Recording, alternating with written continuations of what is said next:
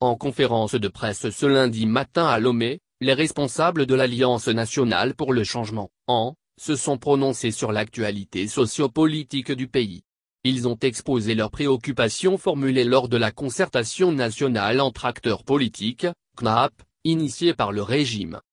Selon Éric Dupuy, en répondant à cette initiative du gouvernement, l'an a parfaitement conscience que ces discussions n'aboutiront à rien puisque le régime n'a aucune volonté d'opérer les réformes devant aboutir à une alternance politique au Togo. En acceptant l'invitation à prendre part à la CNAP, l'an avait parfaitement conscience de manque de volonté du pouvoir en place de faire les réformes politiques auxquelles aspirent les populations togolaises, a indiqué le secrétaire chargé à la communication de l'an. L'an dit avoir pris part à ces discussions dans l'unique but de faire inscrire à l'ordre du jour ses préoccupations relatives à l'assainissement du cadre électoral, notamment par un redécoupage électoral équitable pour les élections législatives, un recensement électoral général biométrique, une vérification biométrique de l'identité du porteur de la carte d'électeur dans les bureaux de vote, une authentification de la provenance du bulletin de vote par signature, une recomposition de la CENI.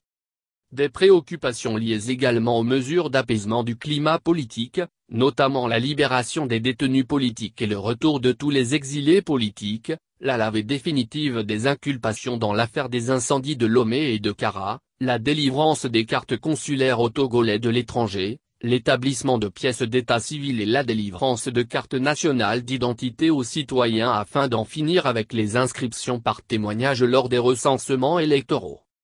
Au cours de cette concertation, le parti de Jean-Pierre Fabre dit avoir insisté aussi sur la révision de la loi portant statut de l'opposition, la révision sur la loi des manifestations publiques etc. Mais malheureusement, toutes ces préoccupations n'ont pas été prises en compte par le gouvernement.